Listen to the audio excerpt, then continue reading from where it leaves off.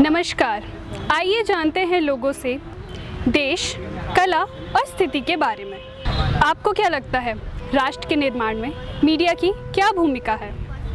मेरा ख्याल है एक बिगड़े हुए बच्चे को सुधारने के लिए जो भूमिका उसकी माँ अदा करती है वही भूमिका वर्तमान में देश की मीडिया स्वच्छ मीडिया देश के विकास के लिए अदा कर रही है। मीडिया का जो राष्ट्रीय निर्माण में भूमिका है वो एक तरह का क्रिटिक काम करता है, आईना दिखाने का।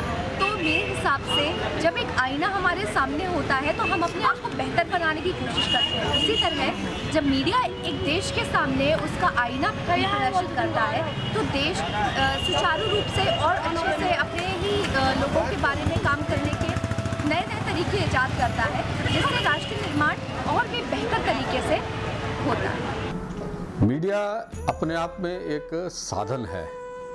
मगर वो साध्य नहीं है। हमारे यहाँ कैसा कुछ हुआ कि साध्य हो गया कि तो बहुत सारी चैनल होने चाहिए, बहुत से कार्यक्रम होने चाहिए, बहुत सी बहस होनी चाहिए।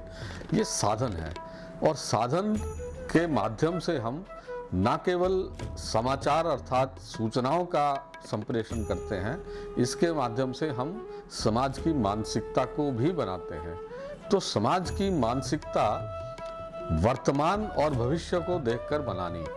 और वर्तमान को अच्छा सुंदर और आनंदमय बनाना और भविष्य की कल्पनाएँ सुंदर करनी। राष्ट्र हित में सोचना और वो सोच हर व्यक्ति के मन में डालना, ये मीडिया का कर्तव्य और दायित्व हो सकता है।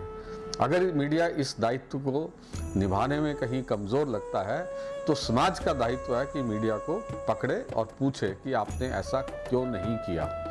और समाज अगर पूछना प्रारंभ करेगा समाज प्रतिक्रिया देना प्रारंभ करेगा तो नए भारत पुनरुत्थान के प्र, प्रक्रिया में जो मीडिया की भूमिका होनी चाहिए वो केवल मात्र सकारात्मक हो सकती है निर्माण करने की हो सकती है।